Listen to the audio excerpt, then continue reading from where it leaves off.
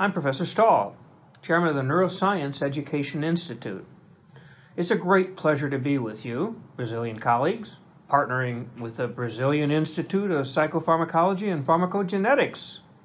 Now that we are official partners, we have a number of ideas and projects together, ranging from our undergraduate members to our fellow resident physicians to our senior members in Brazil.